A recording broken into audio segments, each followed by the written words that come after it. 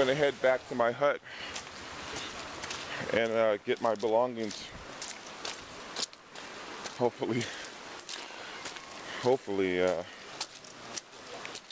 this is going to recede at some point, but as you can see right here, this was all a walkway. It's uh, something else. I've never seen anything like this. I've, I've experienced something like this in my life. So, let me grab my stuff and get out of here.